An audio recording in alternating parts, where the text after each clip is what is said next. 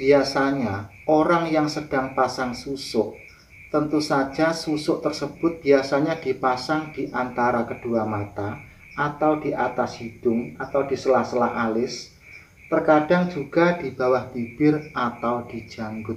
Biasanya pula dukun pemasang susuk tersebut menyarankan agar benda yang dipasang tersebut berupa emas, berupa intan bahkan berlian. Walaupun benda tersebut kecil seperti emas, intan atau berlian dan benda tersebut hanya sebesar jagung, tentu berharga sekali atau bisa dikatakan benda tersebut benda-benda berharga.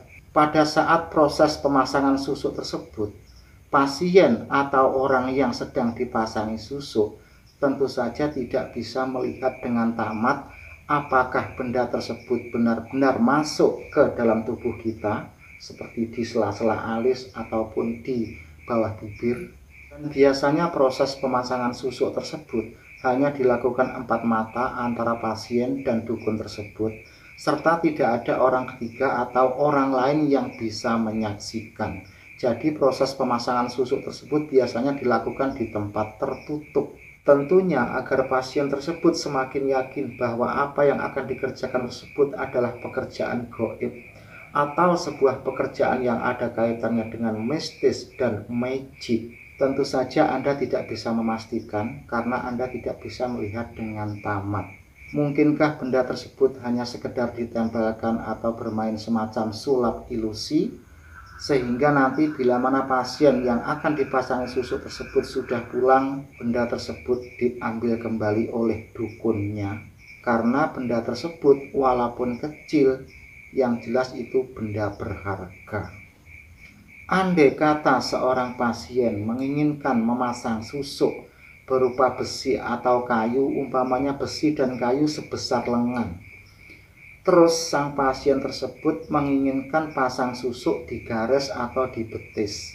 Tentunya dukun pemasang susuk tersebut belum tentu sanggup karena pasien tersebut pasti ingin melihat dan ingin tahu bagaimana proses pemasangan susuk tersebut dan pasien tersebut yang jelas ingin memastikan apakah benda yang sebesar lengan tadi bisa masuk ke dalam tubuh, tentunya agar pasien tersebut semakin yakin bahwa apa yang akan dikerjakan tersebut adalah pekerjaan goib atau sebuah pekerjaan yang ada kaitannya dengan mistis dan magic. Di ruangan tersebut sudah dipersiapkan berbagai macam dupa, kemenyan, minyak wangi, atau bunga, bahkan sesaji agar pasien tersebut yakin dan percaya bahwa yang dilakukan tersebut adalah sesuatu pekerjaan gaib. Dari apa yang Pak D katakan dalam video kali ini, bagaimanakah menurut pendapat kamu? Jangan lupa untuk subscribe, tolong dijempol, serta tinggalkan komentar. Semoga video kali ini bisa Anda pahami dan bermanfaat.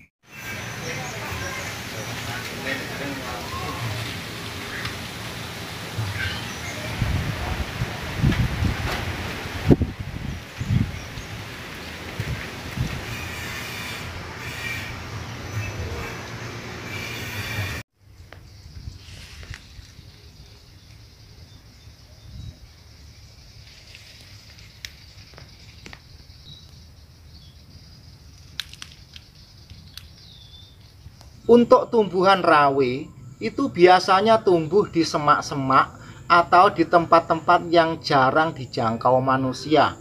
Suatu misal di semak-semak dekat perbatasan hutan. Adapun pohon rawi tersebut tumbuh dengan sendirinya secara liar. Jadi mulai tumbuh sampai buah itu tidak ada orang yang sengaja untuk menanamnya, bahkan tidak ada pula orang yang sengaja untuk merawatnya. Adapun yang saya ketahui selama ini, pohon rawi itu yang banyak di daerah Bojonegoro, yaitu tempat saya tinggal ini. Terkadang pada hari sebelumnya ada dari kalangan teman-teman dari para subscriber yang ingin beli bunganya, pentilnya, atau buahnya yang masih muda. Bahkan ada pula yang ingin membeli daunnya yang masih segar, dan semua itu entah kegunaannya apa yang pasti saya pun kurang tahu Nah, mulai saat ini bila mana ada teman-teman yang menginginkan untuk membeli bunganya, pentilnya atau daun yang masih muda bisa saya siapkan. Bahkan lebih unik lagi pada hari sebelumnya pun ada dari kalangan yang dari luar pulau untuk membeli buahnya yang sudah tua katanya mau diambil bulunya padahal yang namanya bulu rawe terutama bulu yang ada pada buah yang sudah tua yang sudah kering itu gatalnya dahsyat sekali. Biasanya kan buah rawe itu kalau sudah kering nanti akan pecah dengan sendirinya terus bijinya itu akan rontok. Kalau sudah musim hujan biji tersebut tumbuh kembali.